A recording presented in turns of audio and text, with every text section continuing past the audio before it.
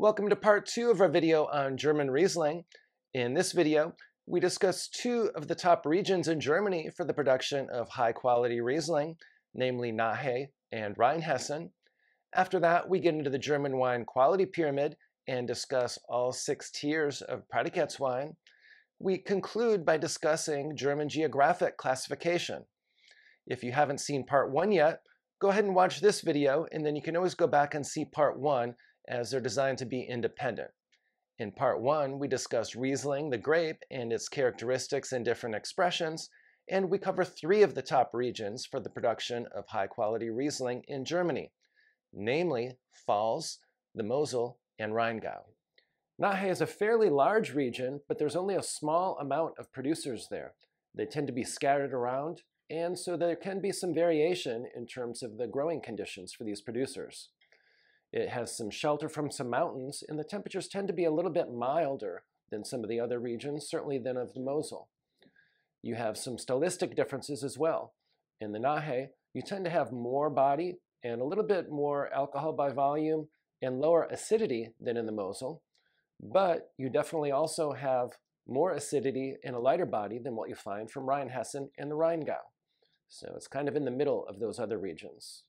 In terms of plantings, Nahe is dedicated to about 75% white wine, and Riesling accounts for around 30% of the total plantings in Nahe. I love the Nahe. It's this giant valley. It's kind of like a secret valley in a way. It's so beautiful. You have so many amazing producers, such a small area. You've got Dönnhoff, you've got Emrich Schönleber, uh, you've got Dr. Crusius, um, you've got Gut Hermannsberg, and then I got to give a shout out to my guy, and I work with Gut Hermannsberg as well, but Andy Schneider of KH Schneider, Karl Heinz Schneider. He's in kind of the unsexy area. Uh, you also have Schaefer Froelich, by the way. Uh, you know, of uh, the Nahe in Sobernheim, and everyone thinks more of kind of Schloss Bockelheim or Niederhausen or Norheim or whatnot. Uh, but you know, Andy's in Sobernheim and he's working two sites, Marbach, Domberg. He also has some Felsenberg, and he has another site called Königsfels. And you know, he's not in the VDP, but he's a little engine that could. He just makes exceptionally beautiful mineral-driven wines.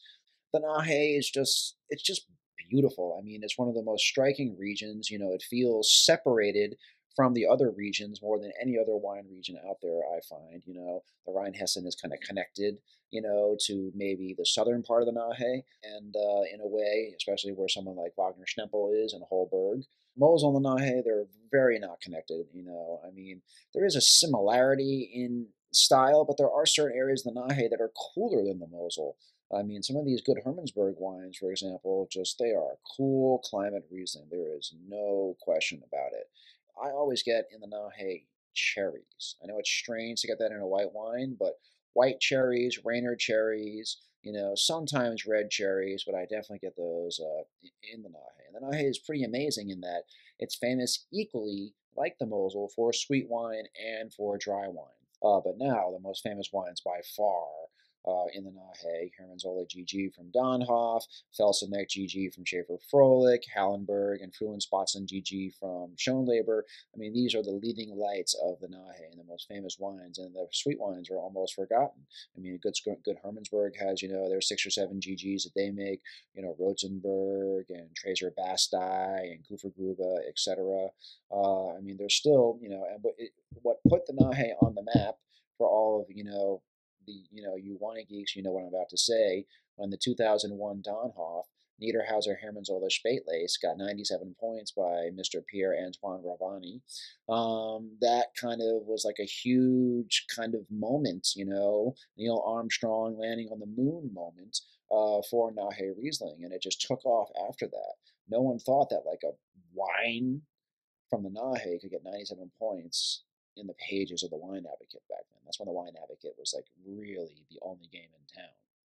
The Rheinhessen is a very large region, both in terms of geographic area and in terms of its production output. In fact, it produces almost one quarter of Germany's wines. Around 71% of plantings are white grapes, and certainly Riesling is the most planted grape in the Rheinhessen. There's a number of mountain ranges that provide shelter to this region, and so it tends to be a little bit warmer and drier. While historically it's been known as a source for lots of bulk wine and inexpensive wine, it's increasingly becoming the location that is also capable of producing high quality Riesling as well. When I think of the Rheinhessen, I think of the expression "you've come a long way, baby." Because basically, at the end of the day, the Rheinhessen was a bulk wine region that made Flying Nun. We've all heard of Flying Nun. That was the most famous wine out of the Rheinhessen. And now they're home to Keller, who is the Romanée-Conti of Germany. I mean, to come from Flying Nun to Keller is pretty remarkable. And you have pretty much like two areas in the Rheinhessen that are important for high quality wine. The Roter which is around Nierstein in Nackenheim, but it's definitely around Nierstein, and that's where you have Nierstein Hipping, Nierstein Pettenthal. These are some of the greatest Grand Cru vineyards in all of Germany. Uh, Nierstein Oberg as well, and also Nierstein is one of the unique areas outside of the Mosel where you can create high quality Mosel like Kabinett. Uh, there's a producer I used to work with, don't work with anymore, named Schatzel, and he is 75% of his production is Kabinett, and uh, it's it's pretty remarkable.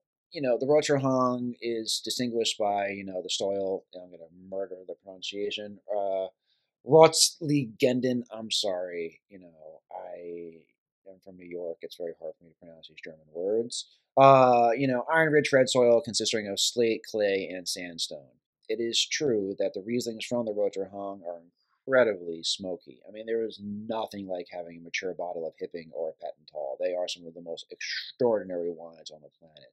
They are like cut from a diamond and they have all this smoke and they have this tropical fruit. And when people think of tropical fruit, they think overripe but no, this is perfectly ripe tropical fruit. Not too ripe, not underripe, just perfect. There's nothing better than biting into like an actually ripe mango, not some like overripe mango or underripe mango, but you want it perfectly ripe. And that's what the Rheinhessen does probably better than any uh, wine producing uh, area in Germany. Uh, famous producers in the particularly the Roter Hang area, Battenfeld Spanier, Kühling-Gillot, and you also have Schatzel, Wonnegau, it's the southern Rheinhessen, and the fam- most famous town is Flörsheim Dalsheim. That's where Keller is. That's also where Sekthaus Raumland is, the top sparkling wine producer in all of Germany right now. You know, you've got Gunderloch down there, you have Keller down there, um, and those are you know the two top producers. I mean, and what Keller has done, you know, for German wine is remarkable. I mean, I cannot even put it in words. I mean, and he is one of the nicest people in German wine, but he has made German wine. I mean, the others, you know, a great wave lifts all boats, as they say. The boats are still in the process of being lifted, to be clear, but there are other people that are making wines that are on a similar qualitative level than Keller, notably Schäfer Fröhlich and the Nahe. I think Christmann as well in the Pfalz, and a couple others. Uh, but you know, there's a mystique about Keller, you know, in, in that if no one's ever heard of German dry wine, they've heard of Keller. And he's expanding. He's making sparkling wine. He's making, you know, a really interesting sweet wine. You know, there's dry Chardonnays now. I mean, he's really, you know, the Mosel stuff. I think he even has a vineyard planted in Norway uh, for his grandchildren. You know, doing really, really incredible stuff. And he's, you know, he's single-handedly, yes, he is in the Wonnegau in Flörsheim Dalsheim, but he does have vineyards, you know, uh, he does make a Pettenthal, he does make a Hipping, um, you know, all that. And also he makes Abtserde and obviously the G-Max, which everyone wants, which is pretty spectacular. Uh, and the Rheinhessen is just such an exciting area for Riesling right now. I mean, you know, just all these amazing producers making these world-class wines. And, uh, you know, really, I mean, no one expected 40, 50 years ago that, like, Rheinhessen would put German wine on the map, but here we are. And it's, uh, you know, done just a tremendous, remarkable, incredible job. But there's also a ton of bad producers in the Rheinhessen. It's a quarter of the German vineyards. So whenever you have a lot of something, there's going to be some bad and some good. Uh, so just because it says Rheinhessen on the label doesn't mean it's good.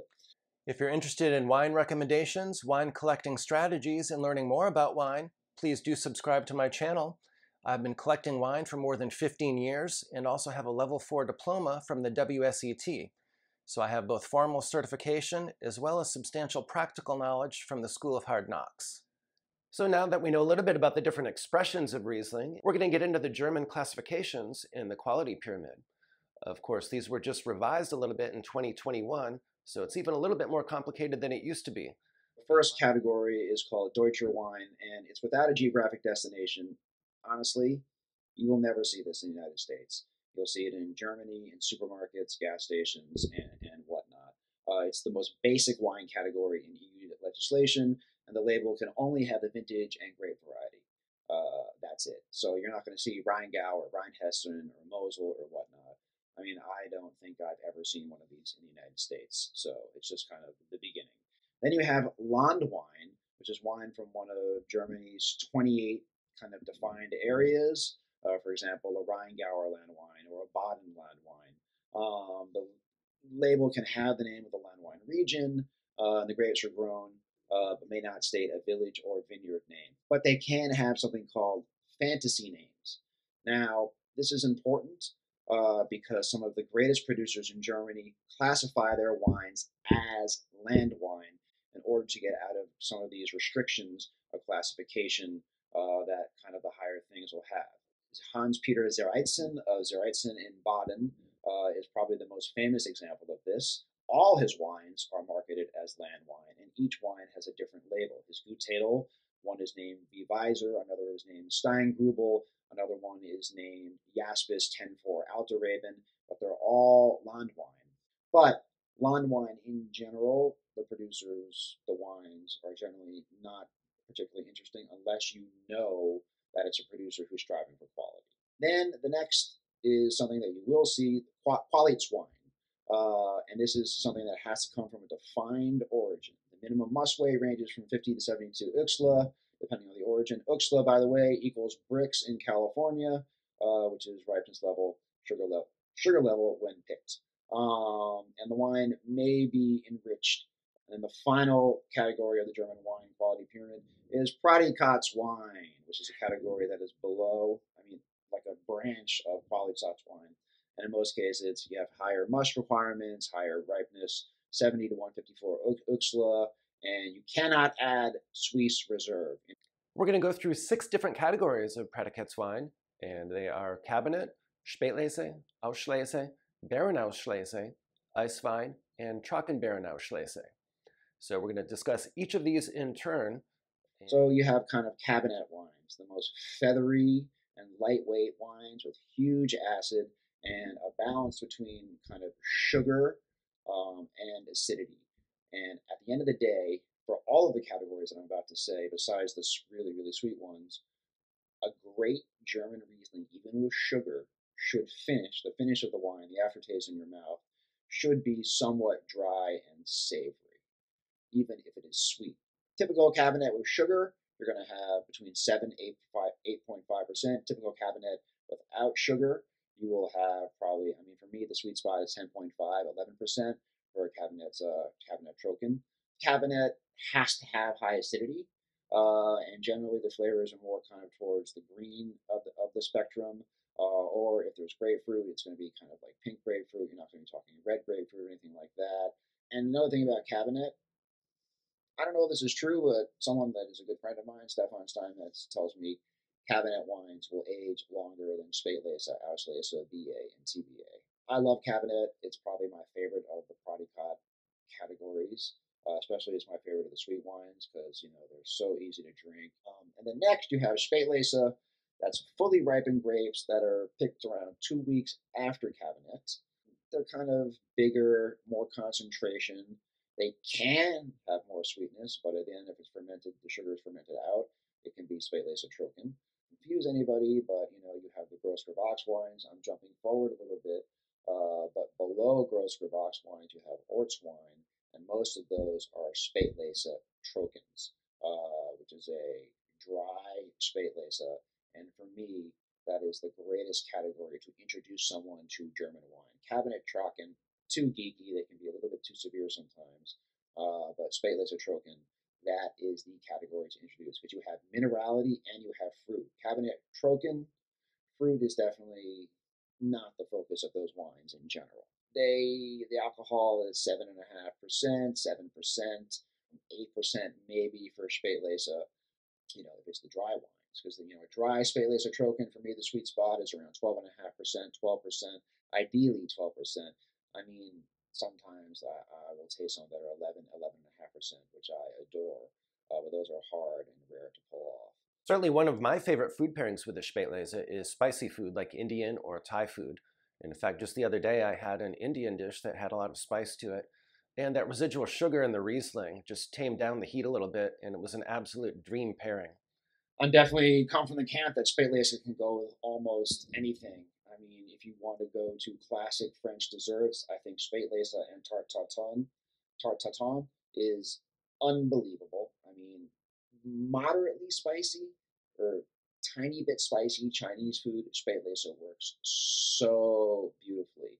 But then Spätlese Trocken or Kabinett Trocken, I make a shift and I go straight to the Japanese restaurant and I'll do an omakase sushi dinner because I think the versatility uh, of dry Riesling with all the different types of uh, sushi and sushi, you know, the only spice that you have is wasabi, which generally sometimes the chef will put a little bit uh, on the pre-prepared, uh, you know, sashimi or sushi, or you can add as much as you want, so you can kind of like gauge your spice level.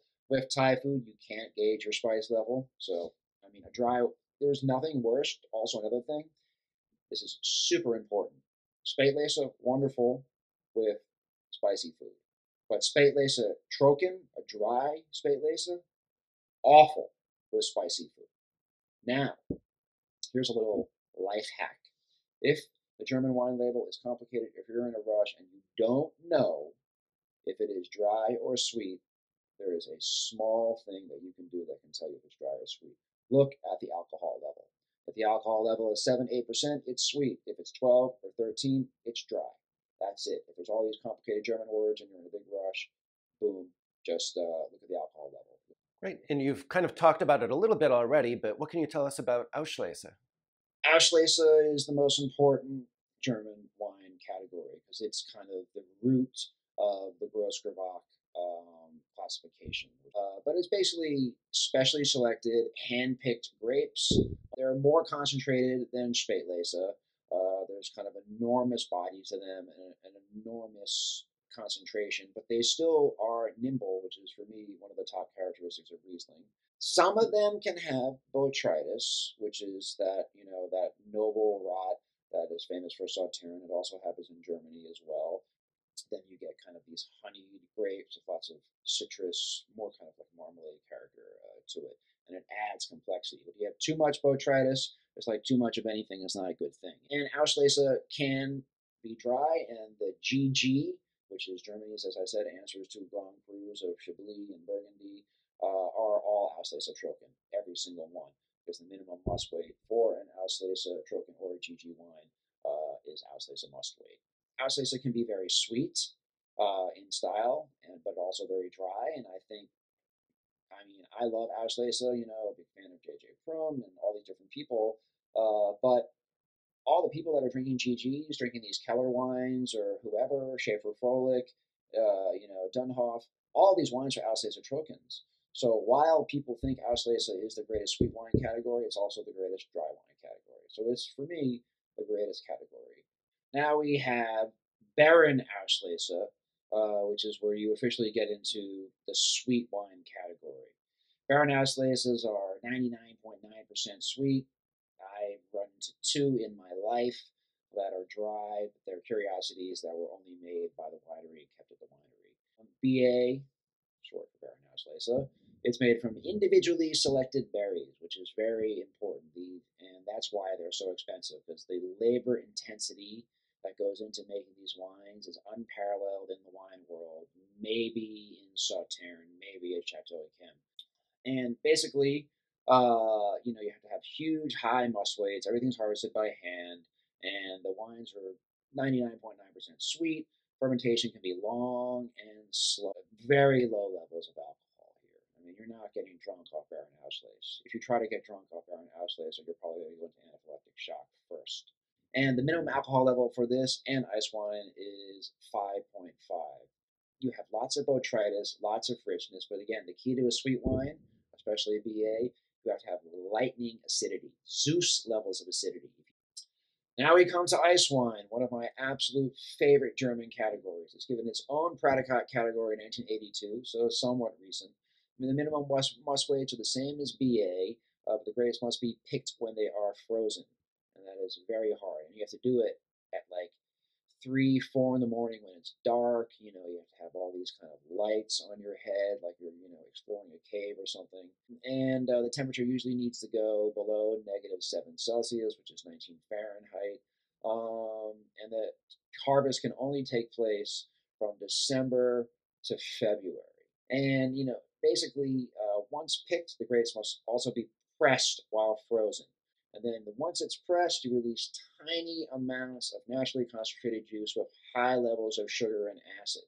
And this is very important in ice wine is that the acidity is retained in the grape because of the freezing. And the grapes used must be extremely healthy. Uh, and sometimes the grapes made for ice wine are not from really famous vineyards. Sometimes they can be. And the grapes have to be healthy, as I said because unpleasant flavors of any would be amplified along with other flavors. Ice wine is like Riesling under a microscope, uh, and uh, it, I love it because it has it has that incredible acidity and it still has all the rich flavors of like a BA or a TBA or something. Uh, but it has the most focus of any of the sweet wines. It's my favorite German sweet wine, personally, in this category of BA, ice wine, TBA, to be clear. And the other thing about ice wine, I don't think you need to age them. Controversial view, I know but I like them young. Uh, it is rare, and it's much rarer now, uh, to be clear, because of climate change slash global warming, because uh, it's just warmer in that November through February time. Uh, so global warming, bad for ice wine, but good for dry wine and good for Pinot Noir and obviously uh, other things. Now TBA, Trockenbeeren Auslesen, literally translated as single berry picked. TBA is very famous because the most expensive wines in Germany are TBA. You got Mueller, Scharzhofberger TBA is the most expensive and most famous example. And it's basically you have to have an extremely ridiculously high must weight. Uh, so all the grapes generally are affected by botrytis. Uh, you know, your must weight sometimes can go up to 300 and 315.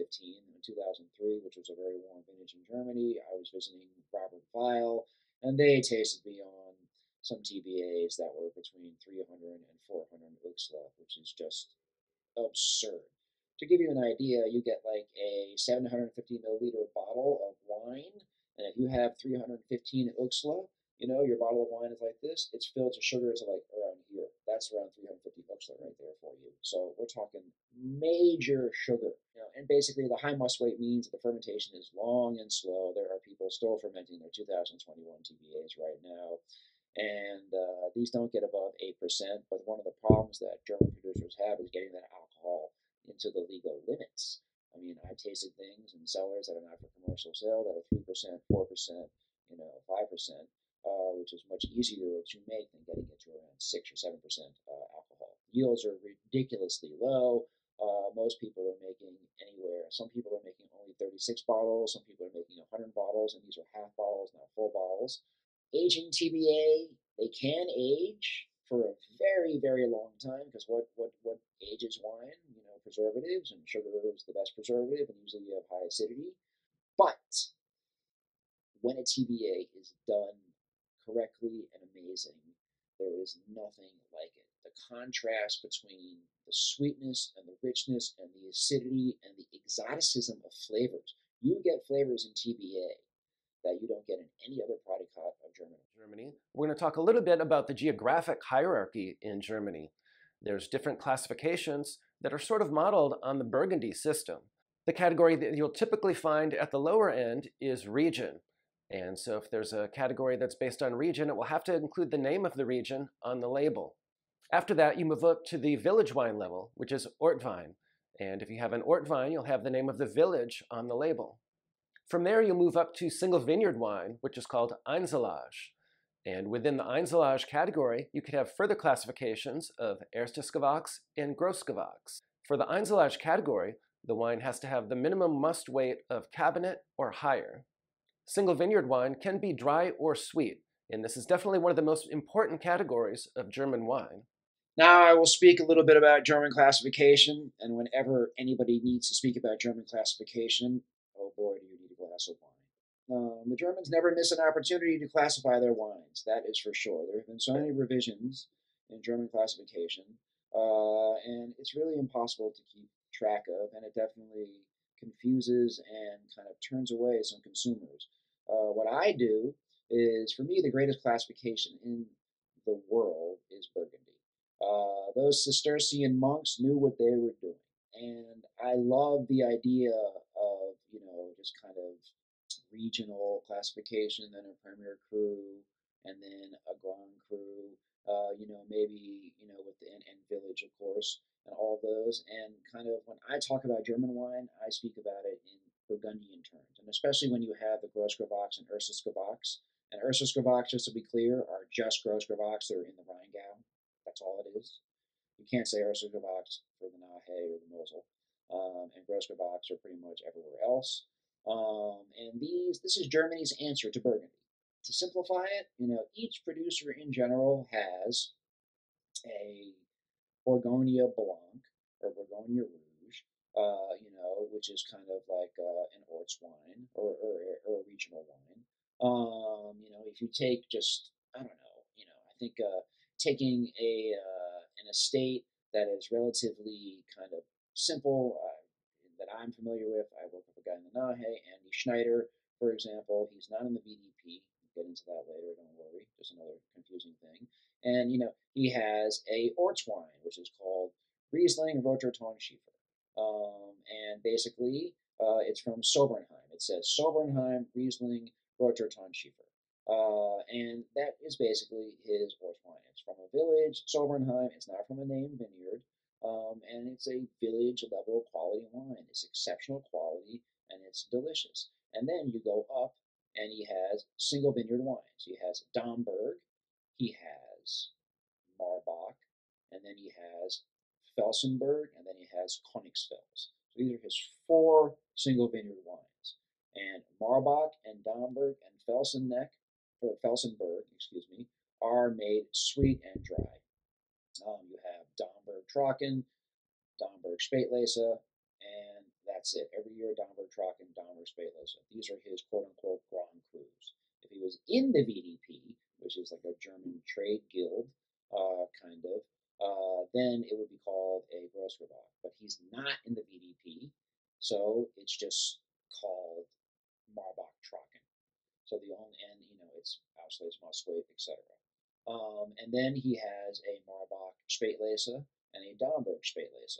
And, and, that's it. And, you know, in general, like all the producers, no matter if they make Pinot Noir or Riesling or Weissburgunder or anything, I always will classify it as, you know, a Grand Cru wine, a Village wine, or a Premier Cru wine.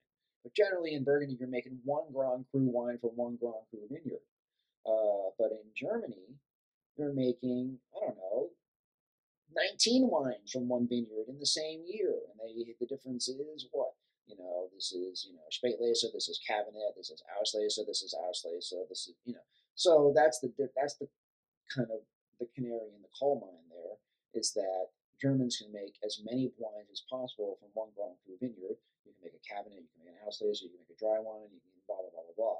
You know, in Burgundy, you know, you're making Vosne Romanée Cros Parantoux. You're not making Vosne Romanée Cros Parantoux Spätlese Trocken, Vosne Romanée Parantoux Ice Wine. You're not making any of these different things. So it's, you know, that is the hump they need to get over.